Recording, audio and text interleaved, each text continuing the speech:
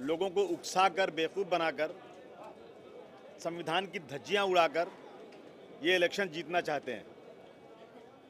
पाँच साल तक, चार साल से ज़्यादा हो गया, कुछ काम नहीं किया।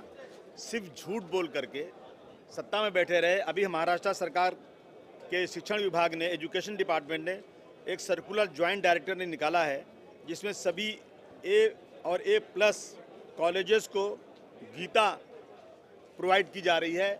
गीता रखी जा रही वहाँ पर। मुझे गीता से कोई नफरत नहीं है, बिल्कुल गीता का रिस्पेक्ट है।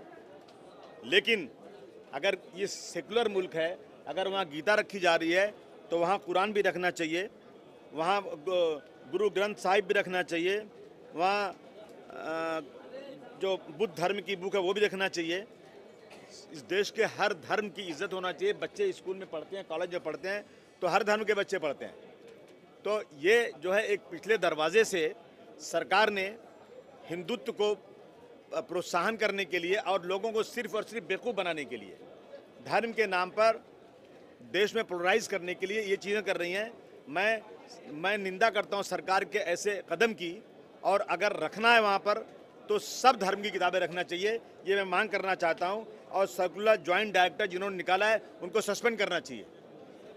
मेरा सस्पेंशन की मांग कर रहा हूँ मैं। और मैं मंत्री जी से कहता हूँ कि सदन में इसकी माफ़ी मांगे, कि इस तरह की चीज़ें नहीं होना चाहिए।